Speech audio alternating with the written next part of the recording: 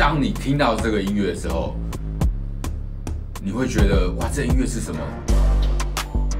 饶舌是一种讲故事的诗。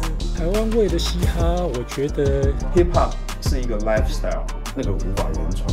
其实八零年代是台湾算是最美好的一个年代，我觉得它有点像是一种日记一样。我觉得就是当我不在意嘻不嘻哈这件事情的时候，你就是真正的 hip hop，无所不嘻哈。嘻哈很大的魅力，我觉得就是真的有话要讲的时候，他的呃是无限的。What what can't 嘻哈的这种 rap 歌 do？